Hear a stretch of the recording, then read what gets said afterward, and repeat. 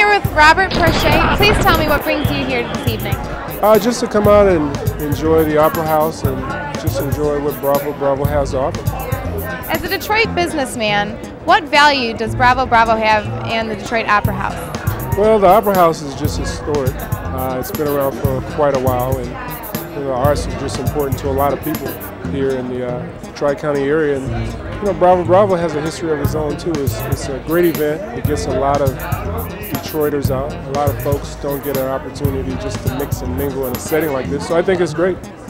So you've been to other Bravo Bravo events? You know what? I've been once before. It was maybe about four, maybe about four years ago, and I had a great time. This is Bravo Bravo's first year going green.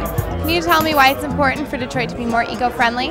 That's a great question. I think it's important. When you look around, you hear so much about just trees being cut down and, and just, uh, just the pace of this country. I think it's very important that we, we stress going green and, importance to our young kids, just so they know the importance of it. I don't know if that really answers your question. It does, it does. Okay. And you'll see a lot of that going on inside. All right. All right, well thank you so much. Thank you, Mr. Hansen. time with me. Have a good right. evening. Okay.